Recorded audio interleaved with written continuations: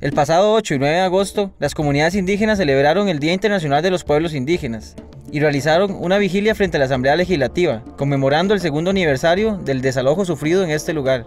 Hoy estamos celebrando el Día Internacional de los Pueblos Indígenas, pero más que eso estamos exigiendo al Estado que reconozca plenamente los derechos indígenas como parte de lo que estamos diciendo pues está diciendo al nivel político de una patria de derechos, de una patria de democracia, pues cuando se cumplen los derechos eh, fundamentales humanos, indígenas, entonces pues efectivamente se estaría vivenciando eso.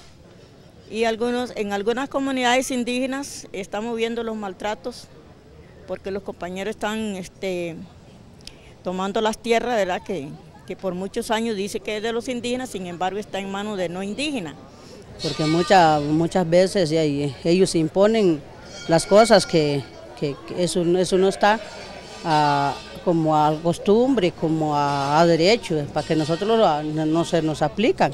Eh, por ejemplo, el sistema de educación no ha sido acorde a, la ideología, acorde a la filosofía indígena, eso ha repercutido, digamos, en, la, en la pérdida de la cultura, en la pérdida de la cosmovisión indígena. Hacer, organizar hacer nuestras propias organizaciones y luchar por nuestros propios derechos.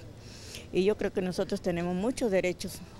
También vamos a estar construyendo pues precisamente ese, ese modelo al que aspiramos, ese modelo, se podría decir como utopía, el Cenebuay, el buen vivir. Entonces sería lo que estaríamos optando, ¿verdad? Desde nuestras comunidades haciendo eso.